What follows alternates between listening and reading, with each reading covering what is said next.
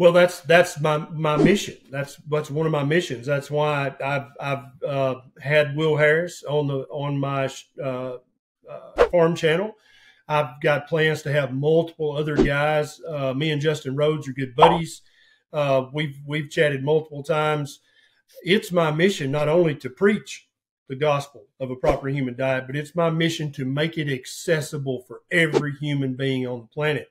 And in order to do that, people say, oh, there's not enough land. You'd have to cut down every forest. No, if you just stop monocropping canola up in Canada and soybean and corn here in the U.S., can you imagine how many millions of acres of grazable, beautiful pasture we would have? We could raise all the meat that we needed to feed America and many other countries if we just stopped wasting the soil